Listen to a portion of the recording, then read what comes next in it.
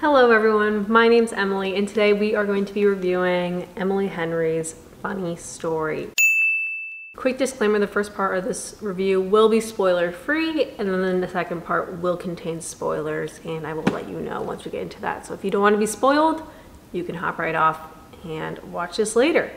But let's get right into it. This was one of my most anticipated reads of 2024. I almost forgot what year it was second, I'm about to say 2025. I'm, it's fine. Emily Henry takes us through a very dramatic event, um, sort of events, where we have Daphne and Miles very unconventionally finding roommates and comfort in each other. Both of their respective previous significant others profess their love to each other, and now they have found themselves in this very interesting situation. From kind of both of them navigating the breakup and really the two of them are the only ones that kind of really understand what they can be going to. They learn a lot from each other about how to be very vulnerable, be able to reflect on who they were with that significant other. Something really great about this book is how it kind of explores how we see ourselves in relationships and something I felt was a very common theme. This is not a spoiler, but oh my gosh. I think it does a really great job of reflecting on accepting the type of love we think we deserve and it dives really into that. And essentially primary focus of the plot is them getting over their breakups, but also kind of diving a little bit deeper into why are this they this way. There's some history that comes up on both of their sides that kind of explains a little bit why they might receive or act receive love or act the way they do, a little bit of trauma that they talk about a little bit, that they have a really great time reflecting on and diving a little bit more into. The main character, Daphne, we follow her, is a children's librarian, classic Emily Henry. Would this be an Emily Henry book if one of the main characters didn't have some type of love or connection to books? Probably not, and we love her for it. Daphne finds herself in Waning Bay, Michigan. She has to challenge herself and kind of previous friendships and it's just a really great reflection piece in my opinion. Breakups are never easy.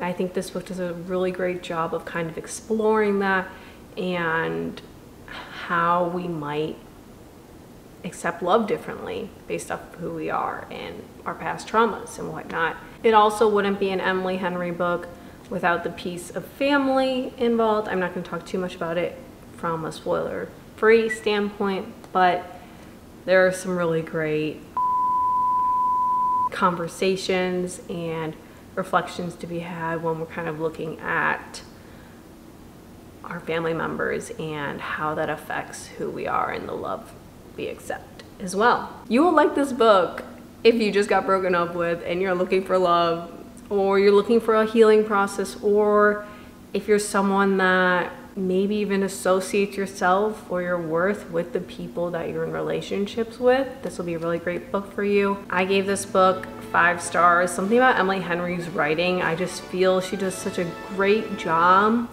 of diving into the whys behind the character and what kind of drives their motivation and actions. The best way I could describe this book is it felt like a warm hug or like I was being swaddled in a blanket and I felt safe. But at the same time, I was being swaddled so much that I didn't mean, did you guys hear, did you hear that? I was swaddling so hard my thumb cracked. But it's swaddling you so much that it's putting strain on your heart and it hurts. I feel like that is the best way to describe what I experienced with this book. And if you're a fellow romance lover, if you like deep reflection and kind of looking a little bit more within of why we do the things we do, why we accept the love we think we deserve, you will love this book. Could not recommend more. I will note this is not my favorite Emily Henry book. I'm gonna do a ranking of them so far, but it's definitely one of the top ones. So let's get into the spoilers. So if you don't wanna get spoiled, hit that save button, watch this later after you read the book or you're okay being spoiled. Otherwise, without further ado, let's get into it. I'm going to talk about the plot. We're going to talk about the character development. We're going to talk about some of my favorite quotes, and then we're going to talk about the book cover. Prepare for a roller coaster because that's how I felt reading this. So, our book starts off with essentially Daphne telling the story of how her and Peter met. Peter is her ex fiance at this time. But I just want to kind of talk right off the bat about how Peter breaks the news to Daphne that they're breaking up.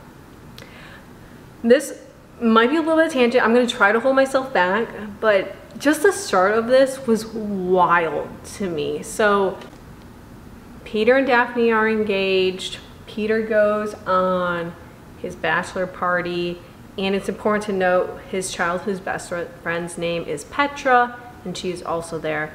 Peter comes back and tells Daphne, Hey, Petra confessed her love to me, and I realize I'm in love with her, and we're gonna break up and call off this wedding now, and I'm gonna go be with her. Let's break down the insanity of this. You are engaged to someone else.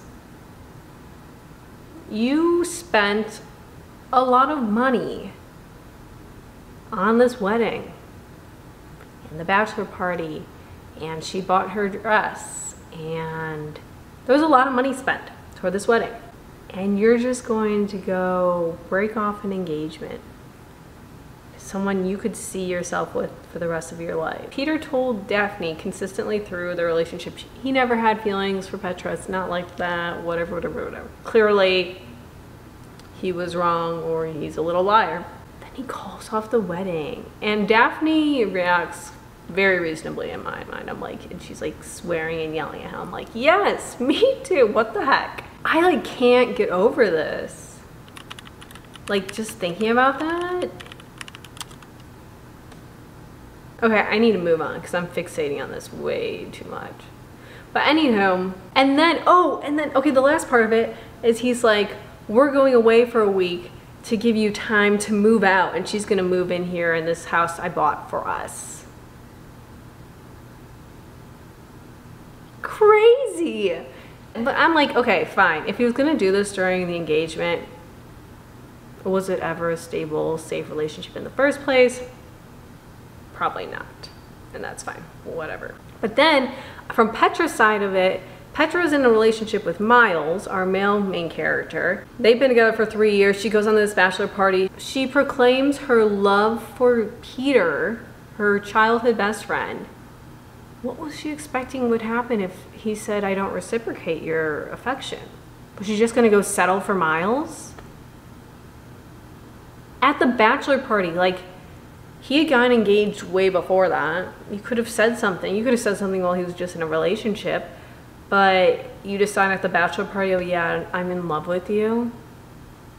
Crazy, crazy. Let's move on. So essentially, Miles and Daphne become roommates. They kind of help each other out through a breakup. It's like really tough to read about, I will note.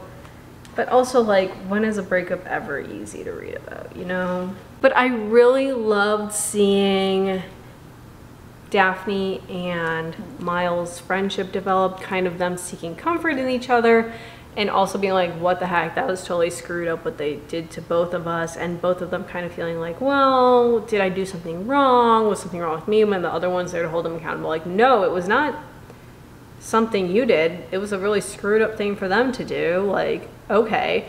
And then they get engaged. Petra and Peter get engaged after a month of their new relationship, and then they invite Miles and Daphne. Crazy. The audacity. And it's like known that these two are like known to be well liked and they want everyone to like them.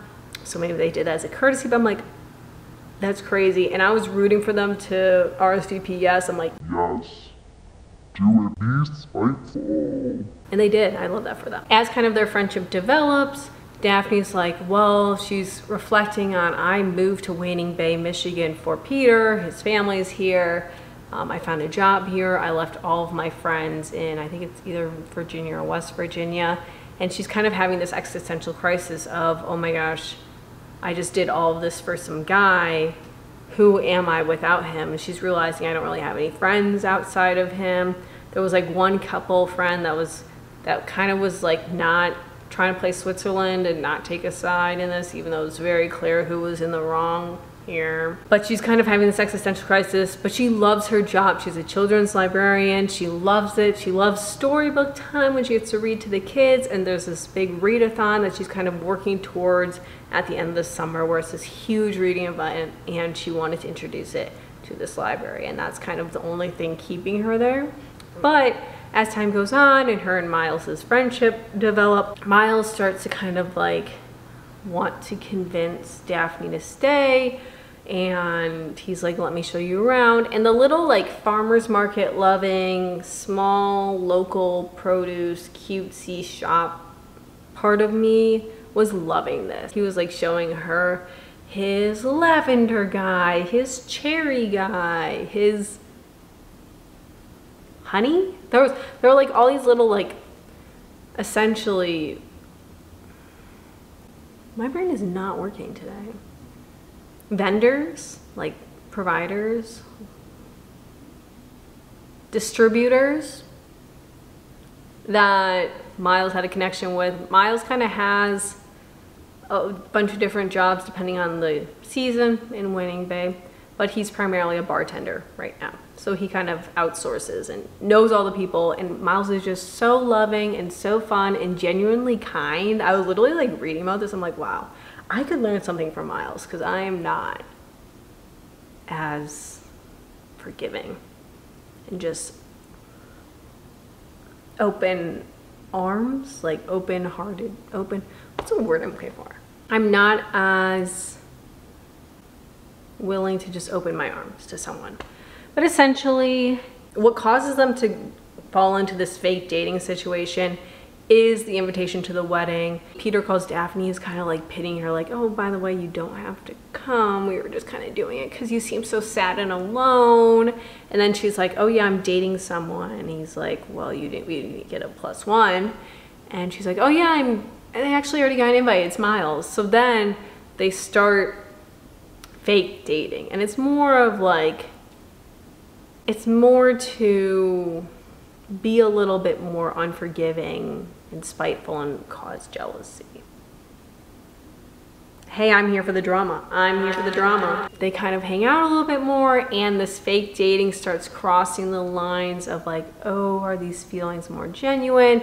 And there's this like a little bit of a struggle of a miscommunication where Daphne's like, wow, I'm having these genuine feelings for Miles, but he's only doing it to get back at Petra and there's this like back and forth constantly where they don't really know how the other one's feeling but they still want to hang out. And it's something that they just kind of work through which was a little bit frustrating at times but i think that emily henry did a really great way of making it realistic. That's something that i felt was pretty consistent throughout this book was the conflicts and the way about communication felt very real. I feel like oftentimes in romance books, sometimes things are exaggerated a little bit to make a point or to cause more drama, and I, I love the drama. Emily Henry just did it in a way that felt very real, and I was like, okay, I can see how this is going. And she also dove so deep into the characters that it made sense with how they kind of had these conflicts. All right, so eventually they profess their feelings and I want to finish talking about the romance and then I want to talk about the family aspect because those were the two biggest points in my mind that kind of stuck with me. Their biggest conflict was, I think, they sleep together for the first time and then Miles was supposed to pick up Daphne from her shift at the library and he doesn't show up and he kind of like shows up an hour too late. It's like raining and she's like, don't even like like whatever. She's like, you ran away when you got scared. And I, for reasons we're gonna talk about with her dad, she's like, I should have expected that from you. This big conflict, this is controversial based off kind of what I've seen online. Peter and Petra broke up. because they realized that they jumped into a relationship too fast. They jumped into an engagement too fast. And then Peter was kicking Petra out of the house, and Petra called Miles, and Miles helped her move out. And that's why Daphne thinks he didn't show up. It was kind of part of the reason why he wasn't as available, but we find out later dad that he was actually chewing out Daphne's dad for being a poor parent. From that conflict standpoint, I feel like everyone's very fixated on that, where it's like, oh my gosh, Miles went back to Petra so quickly. Oh my gosh, Miles like does is still in love with Petra. And I think something really important to note is because of Miles's traumatic past and just who he genuinely is as a person, he's just so kind and will help people without hesitating. And I'll also note that how it came out is he was like, I, I didn't have feelings for her. I accidentally told her that I loved Daphne first. But I, I think he's just very vulnerable and doesn't know how to express negative feelings very well because of his past. So that conflict I was fine with. I feel like people didn't love it. I felt like it made sense from a Miles background and a Daphne background with their family what happened. Let's talk about the family aspect and then we'll get a move on into the quotes. I really loved how Emily Henry talks about family. Family means a lot to me and seeing her kind of explore in different ways throughout her books has been such a pleasure. The two kind of defining family components in this are Daphne's dad is kind of like a deadbeat dad. Daphne's mom is a strong, independent woman who taught her daughter how to be a strong, independent woman. And it's kind of always been Daphne and Holly, that's Daphne's mom, from the beginning against the world. Daphne has a really great relationship with her mom. I love that for her. And something Daphne struggles with is not expecting anything from her dad.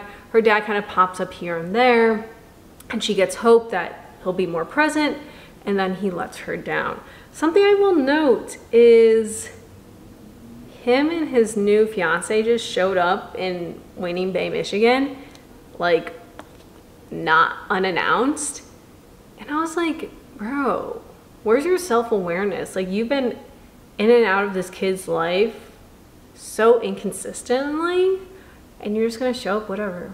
Go to therapy. Sometimes a lot can be solved when you go to therapy. Go to therapy, go to therapy. I've been to therapy three times still a lot to improve, but I've been to therapy three times. Go to therapy, Daphne's dad. Anyway, but essentially, Daphne expecting too much from her dad really affects her relationships and overall, and especially with Miles when she felt like he, let her down. She was like, wow, I should have expected that because I put too much faith into people I love and then they let me down. From a Miles standpoint, Miles also has a very dramatic history with his family. His mom was incredibly abusive. She kind of made everything about her. If everything wasn't happy, go lucky, rainbows and shun sunshine, she would take it out on everyone else and make it about her. And his dad was very avoidant, and absent and really did not help the situation at all. And this affects Miles a lot because he feels like he can't express those negative feelings, which is really hard to hear. But also I'm really glad that Emily Henry continues to talk about men's mental health and whatnot because something that doesn't get talked about as much. But that essentially makes sense why Miles felt that maybe he wasn't good enough for Daphne and kind of how that went.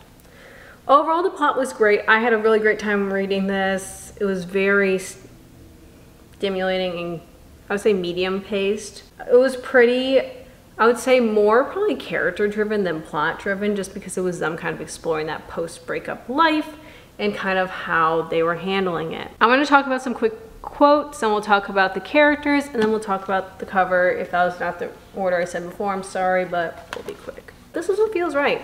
First quote I want to mention is, this is in the beginning when Daphne is just kind of introducing Miles and Petra. But here she's talking about Miles and we have Petra's boyfriend. Miles had not been invited to the bachelor party. Peter didn't hate Miles. He just didn't think Miles was good enough for Petra because Miles is a stoner without a college degree. Petra is also a stoner without a college degree, but I guess it's different when you're a perfect 10 with a picturesque family and a well padded bank account. Then you're not a stoner, you're a free spirit. This right off the bat is when I knew I didn't like Peter. Like, the double standards are so annoying when literally Miles and Petra have very similar backgrounds, and he's being all hoity toity because Miles doesn't come from a ton of money. Whatever. It's fine. We're fine. Next quote I wanted to mention is just because this was my same exact thought, where Peter is recounting how him and Petra came together and they're staying together and he's saying like there was too much they had too much to drink everyone went home but we stayed back to sober up. One thing led to another god i'm sorry but i didn't want to hurt you but daphne goes you cheated on me? And he goes no it wasn't like that. Where she told me she's in love with me and i realized i am too in love with her. I mean maybe not physically cheating I don't know if I would constitute this as cheating, but there's definitely some weird emotional developments there. Peter. Peter's the enemy. Peter's the villain of this book. Ah! Okay, this next part, I don't need to quote that. The next part was just talking about how they got married after a month. That's crazy crazy. Okay, one of my next favorite quotes was Daphne was deciding to just try on her dress for one last time for someone to see it before she got rid of it. And she's trying to take it off and it goes, it won't budge and the bodice feels tighter than it did a minute ago. The more I mess with the zipper, the more panicked I become. The skin feels tender under the seams. My rib cage hurts. I can't get a good breath and the dress is stuck. And at this point I was like, yes, Miles is gonna have to help her take it off. The tension. Yes. Tension and drama. Count me in. My last quote I wanted to quickly bring up. Oh my gosh. Oh my gosh. It's just so cute. It's so cute. This is when Miles and Daphne are moving into their new home together and there's someone new they're talking to and Julia, Miles's sister goes, and the time you told your ex-fiance you were dating his new fiance's ex-boyfriend, Julia puts in. And go, what's this now? Aldous sets the cheese board on the counter. Harvey didn't tell you, Ashley says. I don't gossip about the staff, he says, with false and un unconvincing sternness that doesn't hide his grin. Miles slips his arms around my waist, the wood smoke and ginger smell folding around me, my heart pattering at the sound of feeling of him kissing the side of my neck. I let myself lean back into him the best feeling in the world, at least the best feeling that's appropriate to have in front of my mother, of your mother. You really don't know this already, I ask Elda. She shakes her head. It's how Daphne and I got together, Miles' arms tighten around me. Elda claps her hands together. Oh, I love a good meet cute. That let's hear it. I crane my neck over my shoulder to look at him. His dimples sink into his beard, and it feels like my heart is my heart is unzipping, stepping out of its callous skin, a glowing sunlight thing. Funny story dot, dot, dot, he says, and he doesn't go on, just washes me and waits. He knows how much I love to say it. I felt like this was the perfect ending because it starts with Daphne talking about how much she loves how Peter tells their story, and it ends with one, a little name drop, funny story, but also Miles knowing Daphne better, where she likes to tell the story, and she actually genuinely enjoys telling it. It was just so cute. I was like, oh my gosh, it's fine, it's fine. All right, let's get to the characters. I really like Daphne. I feel like she was a very complex female main character. I love a cynical romantic. I feel seen. I feel seen. It was really refreshing to see someone that just wasn't all oh my gosh, I love everyone, love is amazing. She was like constantly a skeptic and not and always second guessing and questioning people's intentions. I feel seen. I love that she's a little librarian. That's so cute. And I love that she was able to kind of stand up to her dad eventually and be like, hey, you were a deadbeat dad and you kind of suck. So if you want to have a continued relationship, you're going to have to try better. Miles was such a sweetheart. I feel like I talked about this already, but his trauma responds to how kind of his parents treated him growing up makes sense with how he was raised, but I'm really glad that he kind of got to the place where he was okay complaining, he was okay expressing those negative feelings, and he just felt a little bit more comfortable and confident in himself. It was really enjoyable to read about, and I love that for him. I also really liked Ashley. Ashley was one of the other librarians that worked with Daphne. She was just so spunky and fun. It was also really enjoyable to read about a single mom who still makes the most of it, still is able to have a love life and enjoy herself and find new friendships and kind of explore that part of life as well because she's 43 and she's still making friends and like yeah good for her as, as she should. I love that for her. Julia miles's sister was so fun and spunky. I loved her so much as well. It was really interesting to kind of see how her relationship with her parents and miles expressed kind of who she was.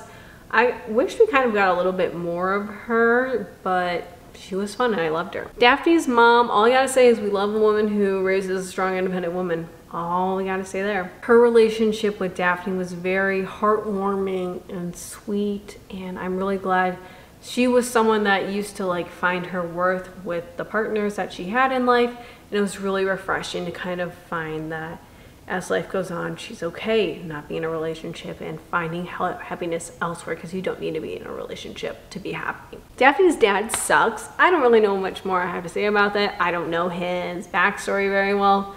But the fact that he told his daughter about his new engagement through a birthday card to her really sucks. And then just showing up to the town she's now living in with no notice and then also leaving with no notice at all really sucks. So like go to therapy, dude, and do some self-reflection. That's all I gotta say. No more notes. Okay, this is gonna be a quick one. Starfire, Daphne's dad's new fiance.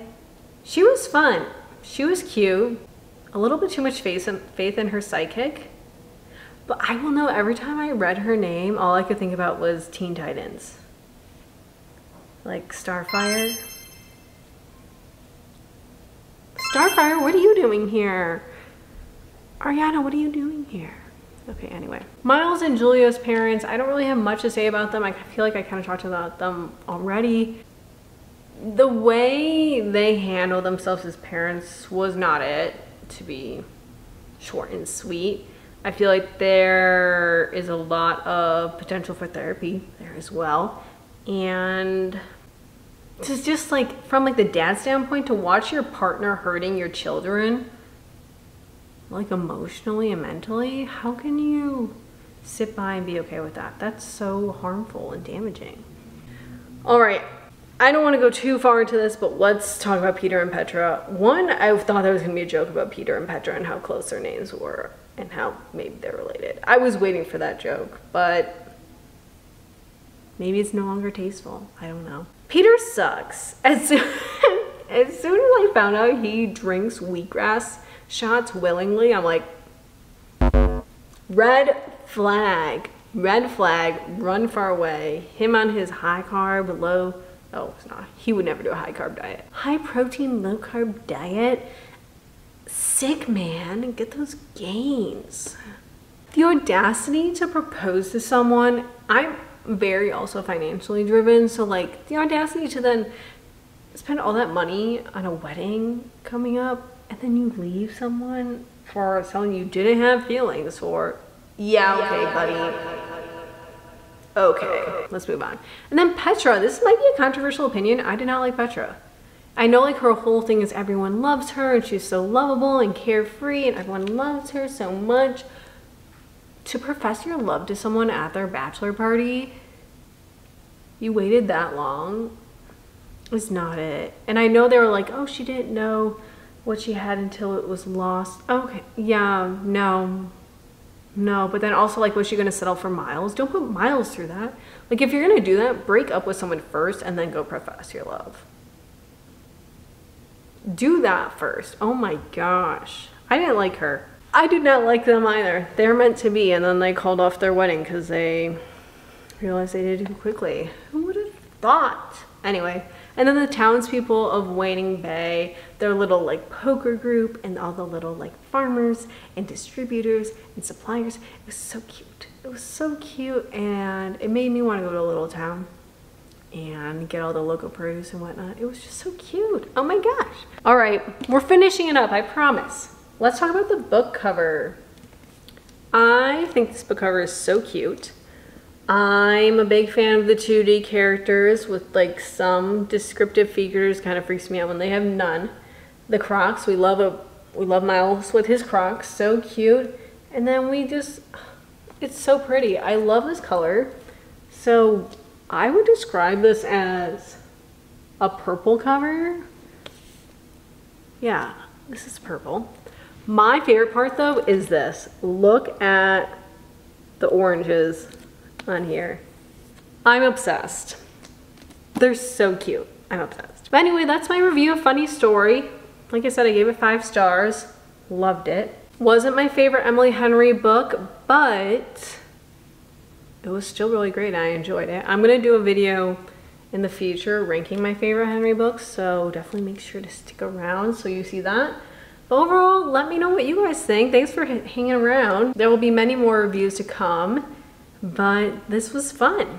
Let's do it again soon. Make sure to like this video, guys. It helps me a lot. Make sure to comment below if you also read it. Let me know your thoughts. I want to hear, I love talking about books. I love talking about books so much. Comment literally if you like didn't like it, if you did like it, if you like the oranges, oh my gosh, comment what you want to see me review next, kind of other videos you want to see, whatever it is, just let me know. Make sure to subscribe so that you can hang around and continue on this fun little book club journey we have going on together and then turn on bell notifications so you don't miss any notifications from yours truly. And I think last but not least, follow me on Instagram at dietitianemk, where I overshare a little bit too much of my life and I post all the behind the scenes of whatever is going on. Thanks for tuning in, guys. This was so fun. I will catch you next week. Otherwise, until then, stay safe and we'll see you soon.